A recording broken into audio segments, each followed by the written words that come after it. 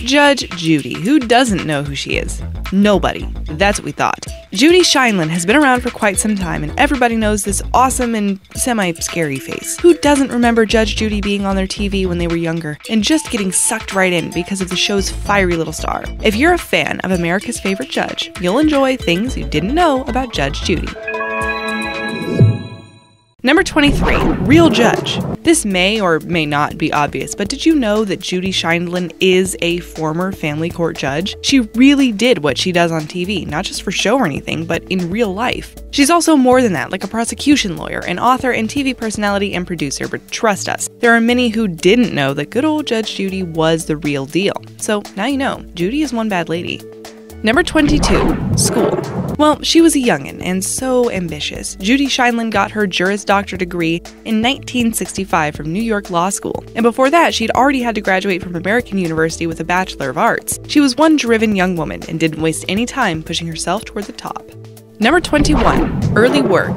Miss Judy began her career in the courts way, way back in 1965 when she got a job basically right away after passing her bar exam. She started out as an attorney in family courts and often prosecuted and showed no mercy on perpetrators of child abuse and domestic violence, and she even dealt with some juvenile crime. We think we'd probably be tired of all the uh, male cow feces that people tried to feed you in family court all the time, so we don't blame Judy for her abrasiveness. Number 20, moving up. In 1982, Ed Koch, New York City mayor at the time, appointed Judy as a judge due to her no nonsense attitude in the courtroom, and she worked in criminal court until 1986. That year, she was given a promotion and moved on to ruling in family court, and it is there that she really began to make a name for herself. Number 19, Beloved Judy. Back in 1993, Judy was featured first in an article by the Los Angeles Times, then on 60 Minutes, and they documented her career in family courts, which was really the beginning of everything for her. She later penned her first book not long after the interview titled Don't Pee on My Leg and Tell Me It's Raining, which in time led to more for the young judge. It's crazy to think that she was doing these things before her show, like she hasn't been on TV forever. Number 18, Retirement. Isn't it crazy to think that she retired from her profession before most of us even ever heard her name? Well, it's true. Judge Judy retired from being a family court judge in 1996 after hearing over 20,000 different cases. She had to be exhausted. Little did she know at the time, but that was just the beginning of her real career, the one that would make her rich and famous beyond her wildest dreams. Number 17, 1996, was the year, the magic year, the year to change Judy Sheindlin's life forever. She was approached that year about possibly starring in a reality court television show that dealt with real cases and real rulings. What did she do? She accepted the offer, of course. Judge Judy, yes, the show we all know and remember from years and years ago, aired on September 16th, 1996, and the rest is history. Number 16, books, books, books. She had her first book, which we mentioned earlier, but did you know that the judge herself has released two more books as well? Her second book, Beauty Fades, Dumb is Forever, was published in 1999, and her third, Keep It Simple, Stupid, You're Smarter Than You Look, was published in 2000. Both books hit the New York Times bestseller list pretty much right as they were released, and all we've got to say is, duh, it's Judge Judy. Number 15, excellent ratings. Ever since it debuted on TV all those years ago in 1996, Judge Judy's show has been ranked the number one court show of all the court shows, which have come since that fateful day in September 1996. Every day, anywhere between 9 and 10 million people tune in to watch America's favorite judge do what she does best tear people up. Number 14, parodies. It's no secret that Judge Judy is really well known, and that those that are well known sometimes have others do parodies, imitations, or worse of them. Well, The Good Judge is no exception to that, as she's been parodied on shows like Saturday Night Live and The Amanda Show, and she was even parodied on The Simpsons as Judge Constance Harm. Number 13, long lasting. So we now know that Judge Judy has been on since 1996, which is a long time ago, but what does that mean for Judy? Well, it means that she's famous and popular and upon a pedestal, and that her show has stood the test of time. The show is actually the longest running individual production of any court show ever. That's as of 2017, and now it's 2018, so she's really rocking it. Number 12, documentary.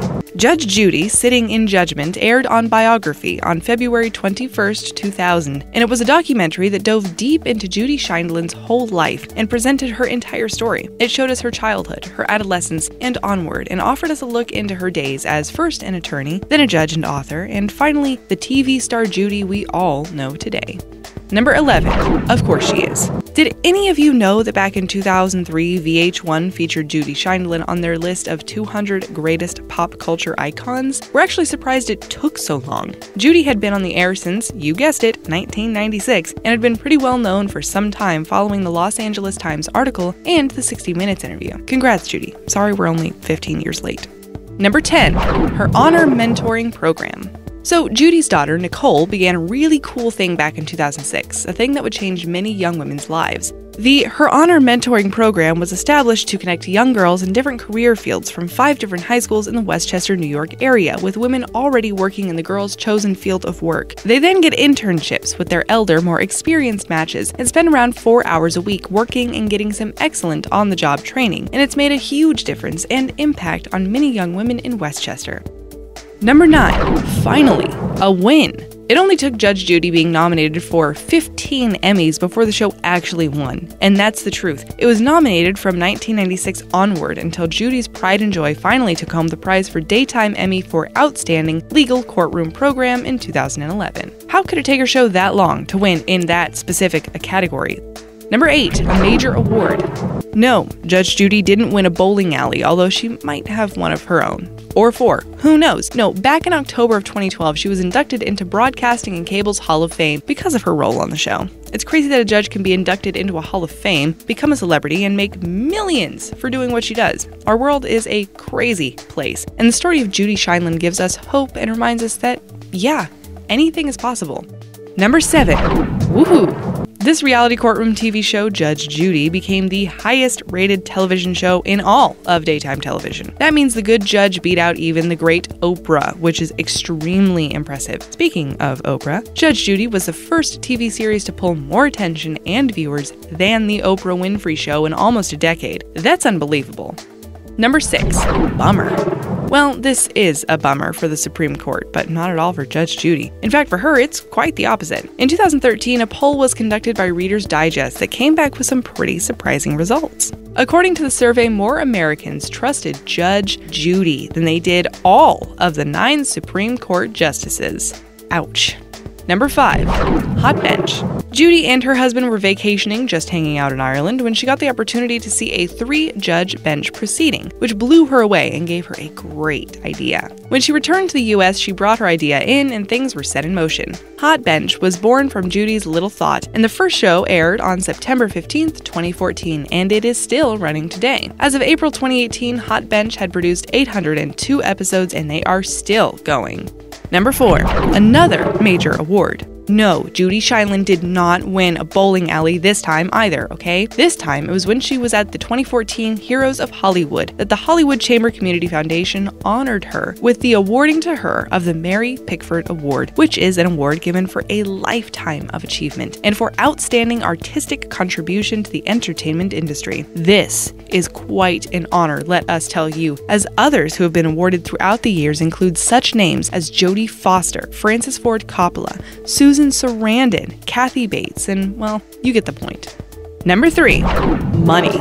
With Judge Judy being on the air for so many years, we think that we all probably understand that Judy Sheindlin has and is worth a lot of money. How much, you may ask? Well, she's worth somewhere between 290 and 350 million dollars and she earns 47 million dollars every year. She has to work only 52 days a year, so all of this breaks down to a little over $900,000 every workday. Did anyone else just have to pick their jaw up from the floor? Number two, what would Judy say? Yeah, that's a website that Judge Judy owns and runs, and she began it so that we could all have even deeper peeks into her life and see her more than just every afternoon. One can find her detailed biography, some links to her newest book, What Would Judy Say? Be the Hero of Your Own Story, and a page with all sorts of videos where Judy advises on all kinds of topics. She actually has some pretty exciting things to say, and it's sad that it seems as though the site has been left untouched for some time.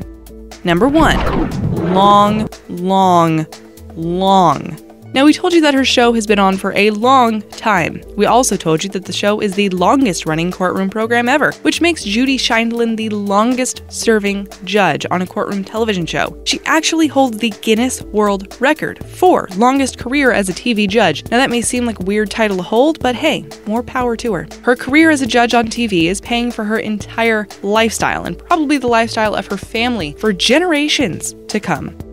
Wow, that is a long list. Judge Judy Sure has done a lot and has been around for, well, you know, what feels like forever. But we can't imagine a world without Judge Judy on the TV. If you enjoyed this video, thumbs up, please. Also, you can leave a comment, subscribe, or share our stuff, and we'll put out new, great videos soon.